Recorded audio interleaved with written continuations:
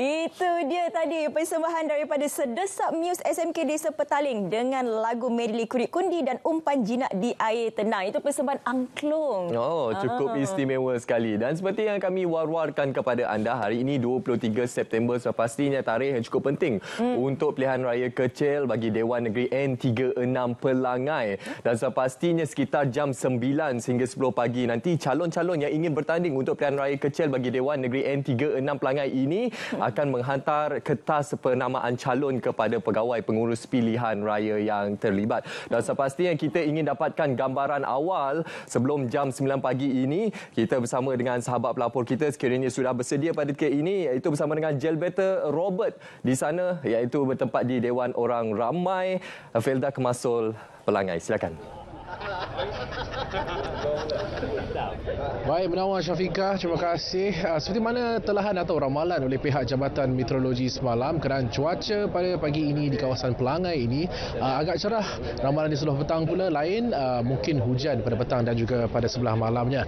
Dan kini saya berada di sekitar, di hadapan Dewan Orang Ramai Felda Kemasul menjadi lokasi pusat penamaan calon untuk pilihan raya kecil PRKN 36 Dewan Undangan Negeri Pahang, kawasan Pelangai. Jadi situasi semasa di sini buat masa sekarang uh, beberapa calon yang akan bertanding mewakili parti PN Perikatan Nasional dan juga Barisan Nasional telah pun sampai. Namun penyokong yang sampai agak ramai, mereka hanya boleh berada di radius kurang uh, 50 meter seperti peraturan ditetapkan oleh pihak SPR. Untuk makluman kawasan Dun Pelangai ini mempunyai seramai 16,456 orang pemilih berdaftar dan kebanyakannya merupakan pengundi biasa dan selebihnya adalah pengundi awal yang akan mengundi awal pada 3 Oktober ini. Urusan uh, penamaan calon akan berlangsung pukul 9 pagi jadi kurang 10 minit sahaja daripada sekarang. Jadi kita akan ketahui siapa uh, semua calon bertanding dikehendaki untuk menghantar dokumen pencalonan masing-masing ditemani seorang pencadang dan juga seorang penyokong. Pihak SPR Pahang juga memaklumkan pada hari Selasa sebanyak 7 borang pencalonan telah pun dibeli.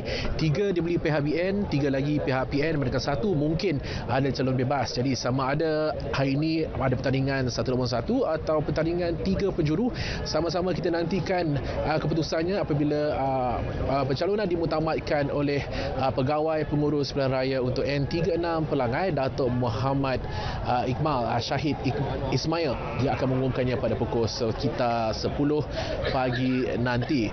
Urusan undi awal untuk kawasan Pelangai ini akan berlaku pada 3 Oktober nanti dan undi biasa 7 Oktober dan serentak hari ini juga urusan ataupun sesi tempoh berkempen 14 hari pun bermula serentak pada hari ini sehinggalah tamat 11.59 minit malam 6 Oktober.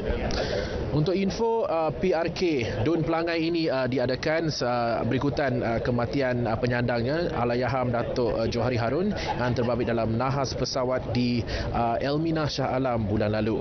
Saya kira uh, kami akan bawakan perkembangan semasa ke semasa relokasi untuk hari ini. Jadi kita kembali ke Angkasa Puri uh, yang sahih di RTM.